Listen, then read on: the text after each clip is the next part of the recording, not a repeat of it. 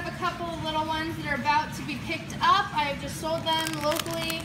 And this is how I am going to hand them over to them. They are in a plastic fish grade bag. They are thicker than normal plastic bags like Ziplocs.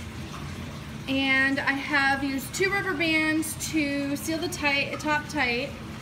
I have left some air. It's a short trip, so they should be fine. And I'm going to double bag that, just like I did this one. See how it's double bagged? Uh, it just, in case the first one pops, it has something to catch the liquid and keep it in.